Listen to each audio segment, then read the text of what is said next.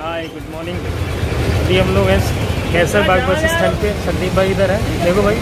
Good morning तो इधर संदीप भाई हैं और हम केसर बाग स्टैंड पे हम लोग जा रहे हैं सीतापुर किसी काम से। अब काम क्या है वो सीक्रेट है उसको अभी नहीं बता सकते बाद में बताएँगे।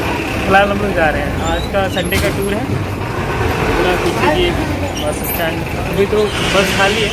जैसे लास्ट टाइम वाले ट्रिप में हम लोग की पूरी बस खाली थी इस बार भी खाली है। देखते हैं कैसे कैसे तो अब हम लोगों की यात्रा, यानी मेरी और संदीप भाई की यात्रा लखनऊ से सीतापुर की शुरू हो चुकी है। सामने कन्वेंशन सेंटर है और फिर यहाँ से हम लोग आगे पढ़ना शुरू कर दिए हैं। यहाँ पे अभी हम लोग पहुँचे हैं टीले वाले मस्जिद के पास, जिसे पहले के टाइम में लक्ष्मण टीला के नाम से जाना जाता था। लेकिन अभी इसे टीले वाली मस्जिद और लक्ष्मण टीला दोनों नाम से जाना जाता है। अभी हमारी बस आ गई है गोमती नदी के ऊपर।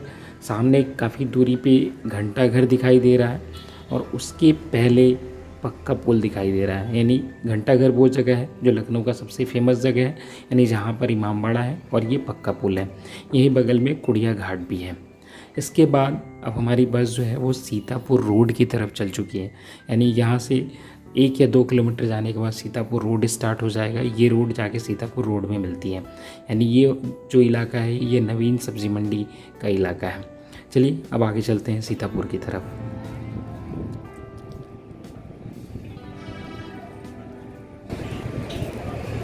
तो हम लोग लखनऊ से आके पहुँच गया सीतापुर बस स्टैंड पे भी हैं। अब जहाँ काम है, वहाँ जाएँगे भी पाँच या दस मिनट में। फिर बाकी देखते हैं सीतापुर में और देखने के लिए क्या मिलता है। फ़िलहाल देखने के लिए तो कुछ नहीं आए, खाली किसी काम से आए तो पहले काम करेंगे, फिर आगे कुछ करेंगे।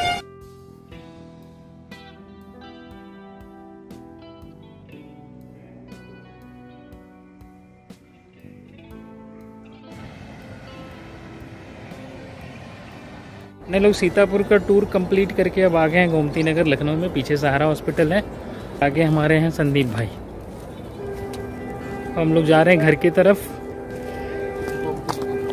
गोमती बाइक वगैरह लेने के बाद अब हम लोग जा रहे हैं अपने मंजिल की तरफ़।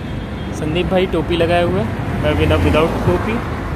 और ये यहाँ का लुक काफ़ी खूबसूरत है, पीछे दिखाते हैं। ये पीछे लाइट देखिए। जनेश्वर मिश्र पार्क है। और यहाँ काफ़ी खूबसूरत है। इधर से ट्रेन भी नहीं हाँ उधर से ट्रेन आती है। सामने का दिखाते हैं। ये खूबसूरती देखिए यहाँ की। काबिल तारीफ़ है और उस काबिल तारीफ़ के बीच में हम दो लोग जा रहे हैं, अपने मंजिल की तरफ़ आगे बढ़ रहे हैं। चलिए, आगे चल के और भी कुछ अच्छी चीज़ें होती हैं, उसको दिखाते हैं।